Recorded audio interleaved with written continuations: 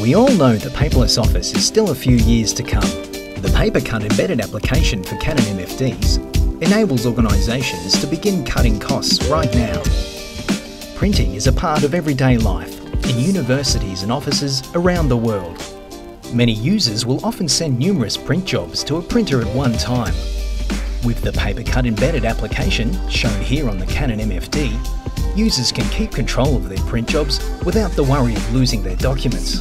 Print jobs are held in PaperCut's secure release queue, where they remain until users authenticate at the MFD. Users can log into the Canon device with a variety of authentication methods.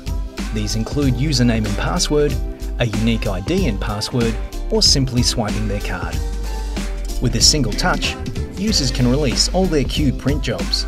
Alternatively, print jobs can be released one at a time from a list of jobs displayed on the device. The MFD can also be used for copying and scanning. If the user has authorization, they can charge their copying to a shared account that would normally be used for a cost centre or department. Accounts can also be found using the search feature. Upon selecting a shared account, PaperCut will confirm that the user's access has been approved and display the copier functions. When using the MFD, PaperCut monitors and controls all usage of the device. And this concludes our demonstration of the PaperCut MF embedded application on the Canon C5240.